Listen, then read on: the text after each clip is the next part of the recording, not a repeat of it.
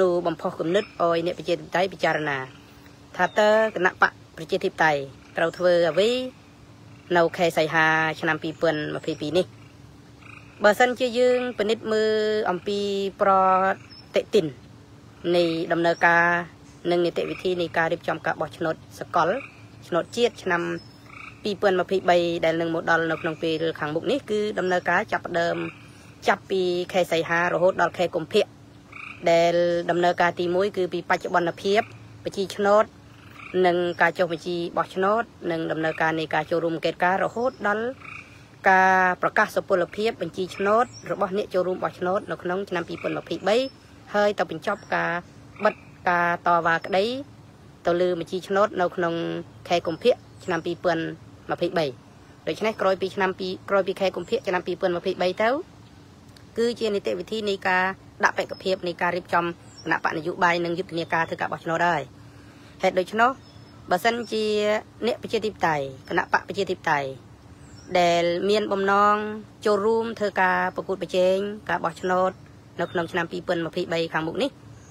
បើសិនជាមានបំណងចង់ចូលរួមហើយទៀមទាតម្លាភាពចង់ទទួលបានការគ្រប់គ្រងនិងជាជំនះការងារដែលត្រូវចាប់ដើមធ្វើគឺធ្វើពីឥឡូវចាប់ដើមត្រៀមខ្លួនពីឥឡូវចំណិនពោ សំទោសអាមាសង្កេតមើលនិងក្លឹងក្លែងយកចិត្តទុកដាក់ចំពោះការងារចូលរួមការបោះឆ្នោតដើម្បីទទួលបានការគ្រប់គ្រងនិងរក្សាជាជំនះរបស់អ្នកប្រជាធិបតេយ្យគឺមានការងារសំខាន់4យ៉ាងដែលអ្នកប្រជាធិបតេយ្យនិងអ្នកគ្រប់គ្រងគណៈបកប្រជាធិបតេយ្យត្រូវចូលរួមជ្រុំជ្រែងចូលរួមគិតចូលរួមពិចារណានិងធ្វើការសម្រេចចិត្តទាំងអស់គ្នាចម្រើនពុកអឺញាតិញោមថាសលេងខ្សោយអាត្មាដូចជា មិនជាខ្សោយប្រហែលទេអាត្មាបើសង្ស័យទូរស័ព្ទញោមខ្លួនឯងវាបើកយូរទៅមិនបានអឺបិទវាមិនបានសេរីវាអាចនឹងសលេងឮខ្សោយព្រោះចាំមើលអាត្មាធ្វើតេស្តមើលមើលទេសលេងឮសំរុំហើយព្រោះអាត្មាបើកមើលហ្នឹងហើយអាត្មាឮសំរុំល្មមហើយដូចជាមិនតិចពេកទេឥឡូវដោយសារខ្ញុំនិយាយញោមទេព្រោះអញ្ចឹងមិនមែនមកពីខាងអាត្មាទេសលេងមិនតិចទេសលេងឮសំរុំល្មមស្ដាប់បានហើយព្រោះអញ្ចឹងអាត្មាចំណាយពេលតិចដោយសារធ្វើទៅនៅតាមផ្លូវបន្តិចទៀតថ្ងៃលិចហើយនៅស្រុកអាមេរិកខែក្តៅគឺថ្ងៃលិចនៅម៉ោង9យប់ព្រោះឥឡូវនេះម៉ោង8 20នាទី23នាទីល្ងាចហើយបន្តិចទៀតអស់ស្ដងគាត់មែនទេណាយប់អះពោហើយអាត្មានឹងជជែកក្នុងរយៈពេលខ្លីទេមិនវែងទេដោយសារធ្វើទៅនៅតាមផ្លូវពឹងលើពន្លឺព្រះអាទិត្យហើយកាលណាអស់ស្ដងគាត់ យើងក៏ល្ងិតមើលគ្នាមិនឃើញនិយាយក៏មិនកើតការពោដូច្នេះបដោតអារម្មណ៍ដោយចំពោះ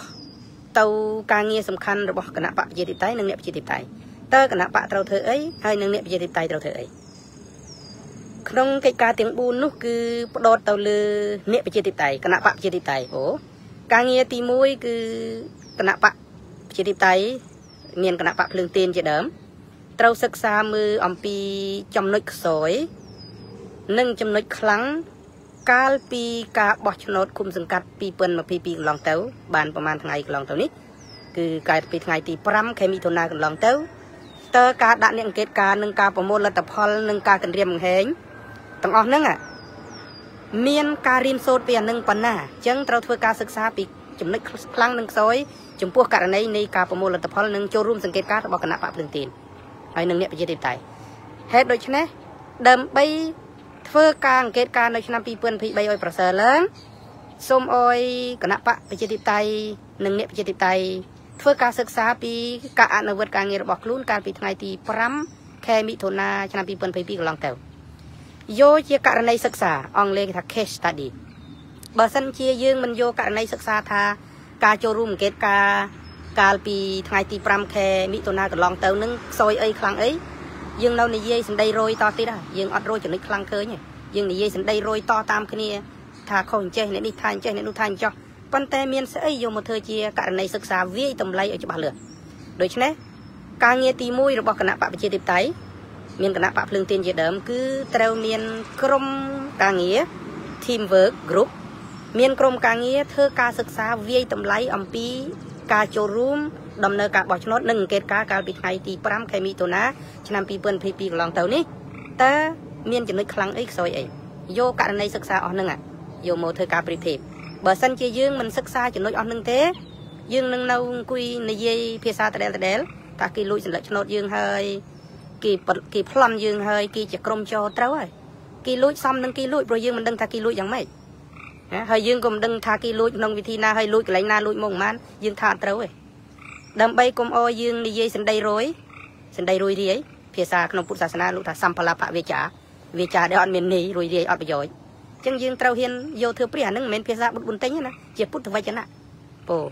បណ្ណញាតញោមក្នុងនាមជាពុទ្ធសាសនិកខ្មែរក្នុងនាមជាអ្នកកាន់ពុទ្ធសាសនាជាសាសនារបស់រដ្ឋហ្នឹងថាតែមើលទេគ្មានតែសិក្សាពុទ្ធលោកសំដែងថាម៉េចក៏គ្មានតែរៀនអីទេគ្មានតែរៀនអីប្រមាណទេពោអញ្ចឹងកន្លែងនេះពេលអាត្មាលើកឡើងថាសណ្ដីរួយរាយអត់ប្រយោជន៍ហ្នឹងមិនមែនភាសាអាត្មាទេពុទ្ធលោកសំដែង អញ្ចឹងយើងទាំងអស់គ្នាបើចង់ឈ្នះចង់បានចំណុចប្រសើរចង់ឲ្យវាប្រពៃជាងមុនវាជឿនលឿនវារីកចម្រើនជាងមុនតែយើងសិក្សាស្អីដែលយើងត្រូវកន្លងមកខុសអីមានចំណុចវិជ្ជមាននិងអវិជ្ជមានប៉ុណ្ណាអញ្ចឹងយើងធ្វើការសិក្សាយកមកវាតម្លៃហ្នឹងចំណុចទី1វាតម្លៃតការងារដែលយើងបានធ្វើកន្លងទៅហ្នឹងវាខ្វះអីវាខ្សោយអីឧទាហរណ៍ជាស្ដែង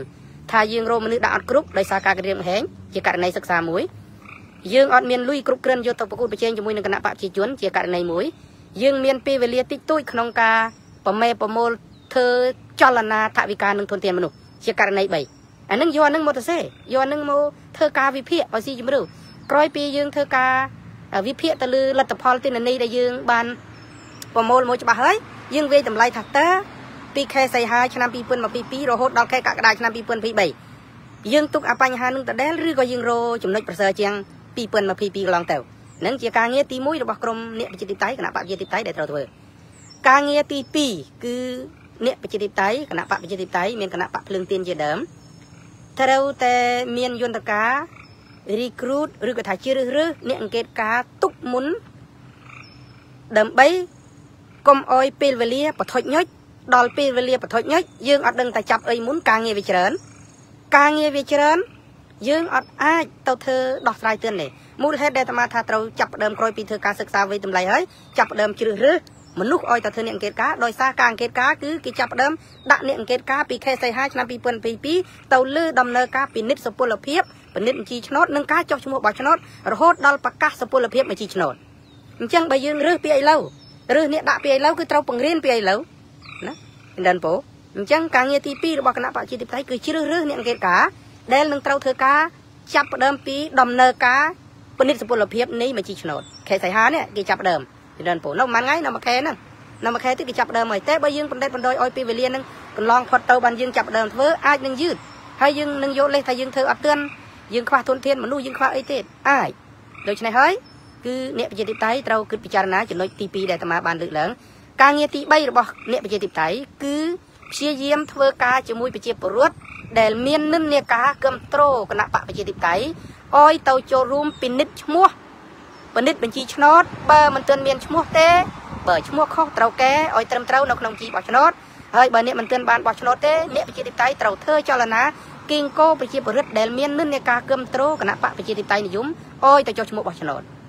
នេះការងារសំខាន់ការងារទី3ហ្នឹងបើសិនជាយើងមិនបានប្រឹងគិតគូរជំរុញលើកទឹកចិត្តឲ្យប្រជាពលរដ្ឋទៅចូលរួមធ្វើការចុះឈ្មោះនិងពិនិត្យឈ្មោះនៅក្នុងជីឆ្នោតទេ យើងនឹងឃើញសួនច្បារមួយដែលមានផ្កាចម្រុះពឿមានសោភ័ណភាពយ៉ាងស្រស់បំព្រងល្អប៉ុន្តែផ្កាទាំងអស់នោះហូរបាត់កើតសូម្បីតែធ្វើលក់បានត្រឹមហិតក្លិននឹងឃើញសម្រស់ល្អហើយធ្លាក់ទៅវិញលើផែនដីលាយអស់យ៉ាងណាមិញពួកអ្នកគឹមត្រូគណៈបព្វជិតិតៃ បើសិនជាមិនទៅធ្វើការពិនិត្យបញ្ជីឆ្នោតហើយធានាថាមានឈ្មោះនៅក្នុងបញ្ជីឆ្នោតមានលិខិតបញ្ជាក់ថាអាចបោះឆ្នោតបានទេយើងនឹងមិនអាចទៅបោះឆ្នោតបានលិខិតបញ្ជាក់មានអត្តសញ្ញាណប័ណ្ណនិងឯកសារបញ្ជាក់ការបោះឆ្នោតហ្នឹងបើអ្នកអត់អត្តសញ្ញាណប័ណ្ណពូអញ្ចឹងបើសិនជាយើងមិនបានធ្វើការចំណុចទី3នេះទេយើងនឹងឃើញមនុស្សកាន់ទឹកសុទ្ធទៅចែអយទៅចូលរួមហែ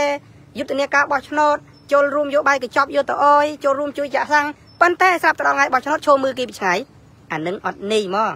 នឹងហើយដែលអាត្មាថាក្នុងសួនច្បារមួយ មានផ្កាចម្រុះពឿមានសុភិនភាពល្អរួមទាំងក្លិនផងប៉ុន្តែហូបអត់កើតធ្វើតាន់លក់ធ្វើមិនបានបានត្រឹមឈោថតរូបក្បែរប៉ុន្តែអត់មាននេះវាអត់បានប្រយោជន៍អញ្ចឹងបើសិនជាយើងពិនិត្យមើលករណីសិក្សាជាក់ស្ដែងកាលពីការបោះឆ្នោត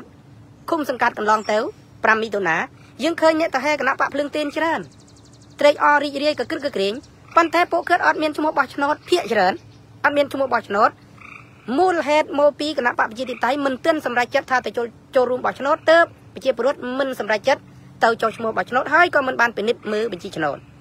ដល់តែពេលដល់ថ្ងៃបោះឆ្នោតយើងអត់ឈ្មោះហើយគេនៅតែឈ្នះតដែលព្រោះគេប្រឹងធ្វើយកជាជំនះលើយើងតាមរយៈការទិញទឹកចិត្តនិងការរៀបចំធ្វើម៉េចឲ្យមានលិខិតឬក៏ក្តារស្នាមបញ្ជាក់ការបោះឆ្នោត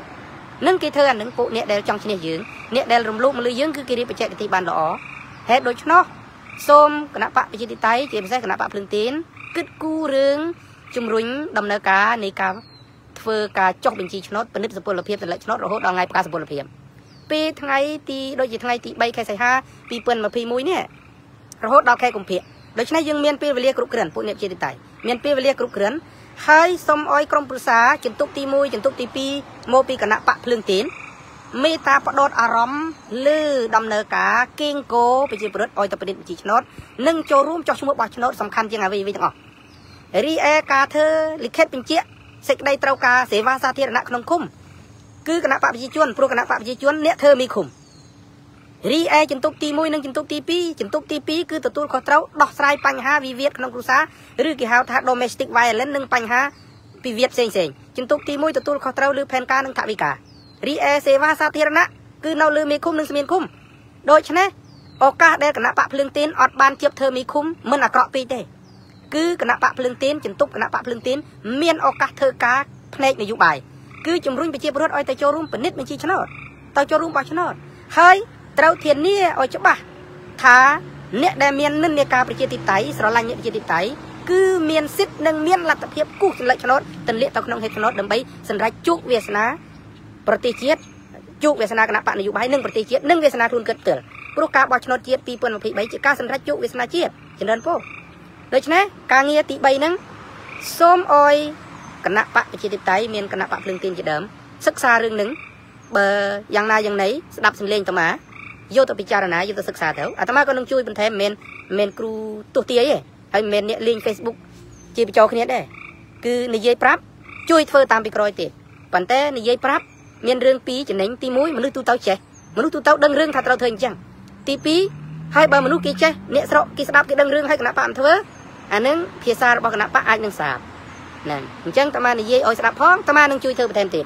ការងារទី3ដែលគណៈបកប្រឆាំងត្រូវធ្វើការងារទី4របស់គណៈបកភ្លើងទីនគណៈបកប្រជាធិបតេយ្យដែលចាំបាច់ត្រូវធ្វើបំផុតមិនអាចខកខានបាន គឺទៀមទា ឲ្យមានការធ្វើវិសោធនកម្មនិងនីតិវិធីនៃការពិនិត្យដំណើរការបោះឆ្នោតការរៀបសម្លេចឆ្នោតនិងការប្រកាសលទ្ធផលឆ្នោត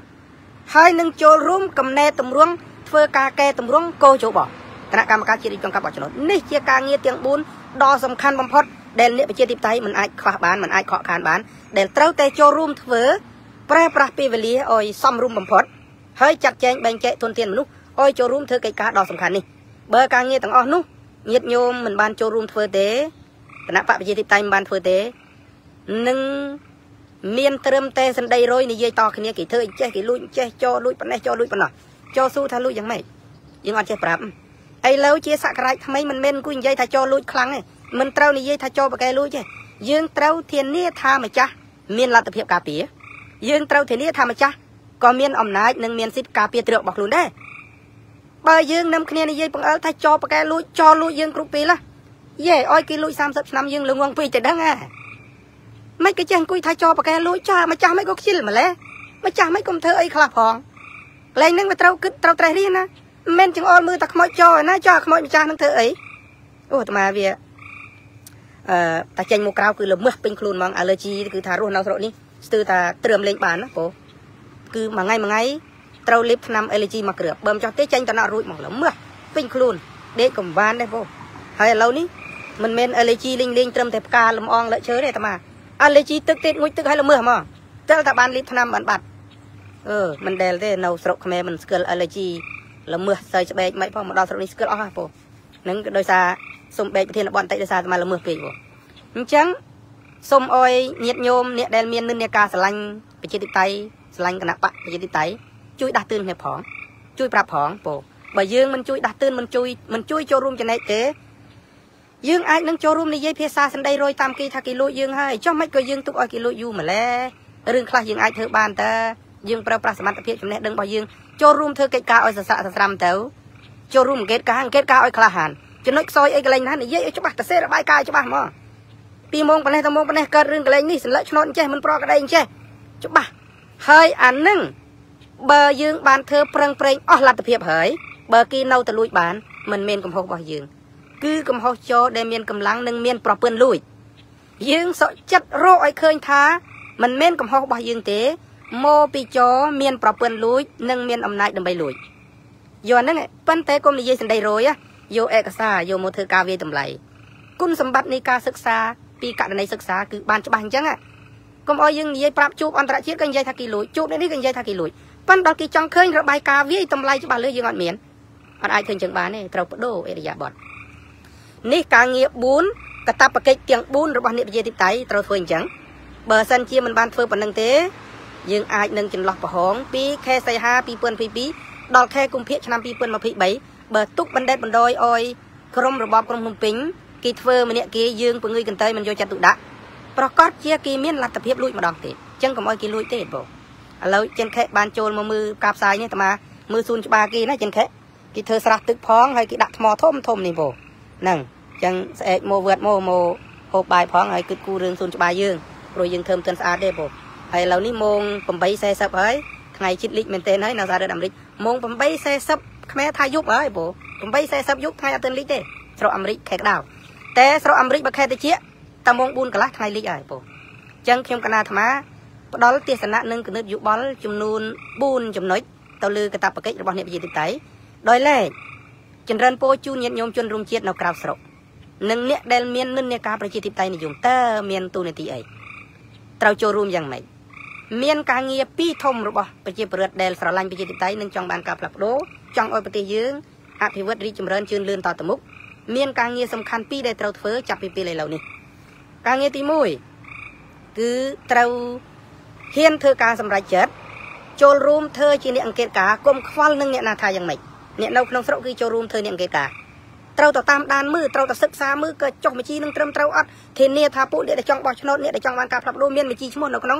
ឈ្មោះបោះឆ្នោតមានឈ្មោះនៅក្នុងបញ្ជីឈ្មោះបោះឆ្នោតសុំទោសមានឈ្មោះនៅក្នុងបញ្ជីឈ្មោះបោះឆ្នោត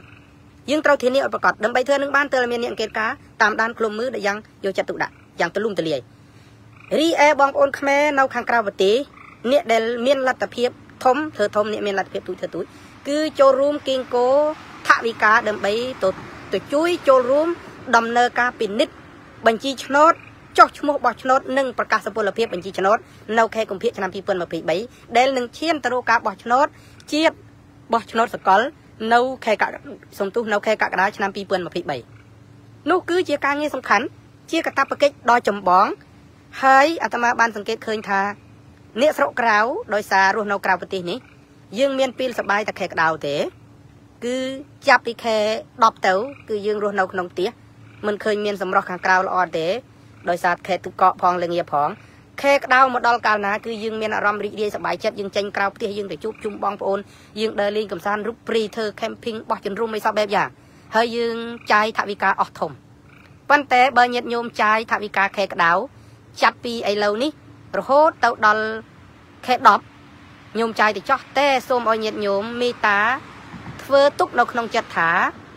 ការសម្រេចជោគវាសនាជាតិនឹងធ្វើឡើងនៅខែកក្កដាឆ្នាំ2023ហើយបើញោមចូលរួមសបាយចាយលុយនៅខែក្តៅក្នុងស្រុកអាមេរិកក៏ដោយនៅអឺរ៉ុបក៏ដោយសូមមេត្តាពិចារណាចាប់ផ្ដើមសន្សំលុយពីថ្ងៃខែតិចចូលមកដល់ពីខែតិចចូលមកដល់គឺសន្សំលុយបើយើងធ្វើការប្រៀបធៀបយើងដើរលេងខែក្តៅ អស់5000ដុល្លារឬក៏3000ដុល្លារបើសិនជាយើងគិតគំនិតជាតិនិយមមានបំណងចង់ផ្លាស់ប្ដូររបបផ្ដាច់ការចង់ធ្វើឲ្យជាតិខ្មែររុងរឿងដូចគេយើងដើរលេងខែក្តៅអស់5000ដុល្លារសូមញោមគិតថាដំណើរការនៃការជួយបោះឆ្នោតជាតិនៅក្នុងប្រទេសយើងជួយ50ដុល្លារញោមដើរលេងចាយអស់5000ផឹកទឹកហូបបាយ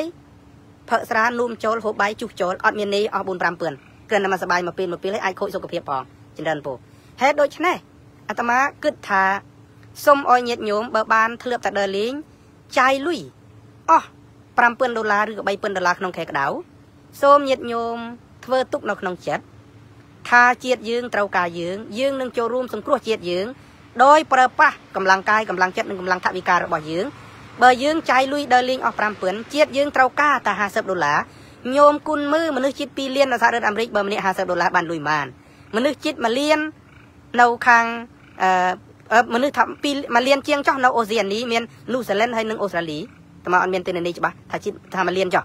យើងបូកទៅ50ដុល្លារគុណនឹង2លាននេះជាងអស់3លានអាមេរិកជិត2លានហើយអូសៀនីទាំងអស់គ្នានឹងថាមួយលានជាងចុះអញ្ចឹងយើងឡើង4លានបាទហើយនៅអឺរ៉ុប2លានទៀតវាត្រូវ6លានបើសិនជាយើងមានឆន្ទៈមានគណិតថាជាតិយើងត្រូវការយើង យក50ដុល្លារគុណនឹង6លានយើងមានលុយគ្រប់គ្រាន់ហើយលុយនឹងមិនមែនបានមកពីការលក់ទ្រព្យសម្បត្តិជាតិជានកប្រជាពលរដ្ឋជានកម្ចាស់ឆ្នោតប្លន់ទ្រព្យសម្បត្តិជាតិយកមកដើម្បីបំរើឲ្យសេចក្តីត្រូវការនឹងហេតុការរបស់ខ្លួននេះគឺលុយជាតិនិយមលុយសមោះត្រង់បានពីការសន្សំមួយខែសន្សំ5ដុល្លារពីនេះទៅដល់ខែកក្កដាពីនេះទៅដល់ខែមិថុនាឆ្នាំ2023បើញោមសំ5ដុល្លារក៏វាបានលុយ 50ដុល្លារសម្រាប់ជួយជាតិហើយបើប្រៀបធៀបយើងដើរលេងចុងសប្តាហ៍យើងចាយលុយអស់ប៉ុន្មានចុងសប្តាហ៍ខ្លះអ្នកខ្លះផឹកអស់50ដុល្លារ100ដុល្លារ200ដុល្លារប៉ាន់ជាតិត្រូវការ50ដុល្លារមិនគេយើងធ្វើមិនកើតញាតិញោមកុំអង្គុយសរសើរជនជាតិយូក្រែនកុំអង្គុយសរសើរជនជាតិអ៊ីស្រាអែលសូមអុយម្ចាស់អង្គរសូមអុយពូជអ្នកដែលធ្វើអង្គរបានគេសរសើរទី7លើពិភពលោកក្រឡេកមើលពុកពាក្យបរោះយើងដូនតាយើងធ្វើឲ្យពិភពលោកសរសើរយើងបានប៉ុន្តែឥឡូវ ធ្វើឲ្យពិភពលោកគេសាច់ចំអកគេនិន្ទាយើងថាដឹងថាឆ្លងដែនគេទឿតគេធៀកហើយប៉ុន្តែថាព្រមឆ្លងទៅព្រោះត្រូវការរស់